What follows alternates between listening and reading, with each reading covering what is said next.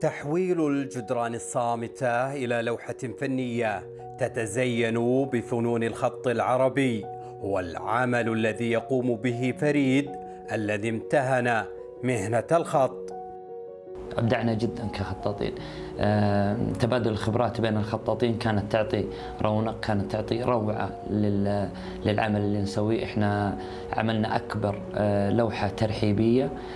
كان عمل جدا رائع لأنه كان مختلف الثقافات سواء بخبرتي كخطاط أو بخبرة الفنانين اللي كانوا معي في الرسم وفي آه، مدارس الخطوط ومدارس الرسم المتنوعة. الخط على مختلف المواد والقطع وتجميلها بحروف وعبارات الخط العربي هي الهواية التي حولها فريد إلى استثمار في هذا المرسم. الخط العربي زمان كان يقتصر على الوسائل المدرسية للطلبه والطالبات للمشاركة في في الأعمال المدرسية. مع التطور اللي إحنا عايشينه ومع الحضارات اللي صرنا آه، نتداخل فيها وتتداخل فينا صرنا آه، يعني عندنا شمولية في آه، مفهومنا عن الخط. صار يدخل في الديكور صار يدخل في الشوارع في التزيين في الإعلانات صار يدخل في كل شيء.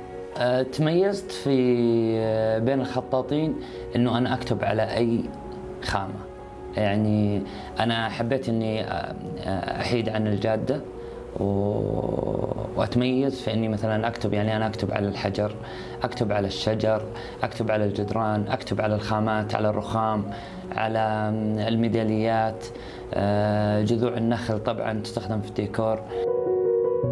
أدخل هذا الخطاط فن الخط العربي على ديكورات المقاهي لتزين حروف اللغة العربية أغلب جدران المقاهي في مدينته.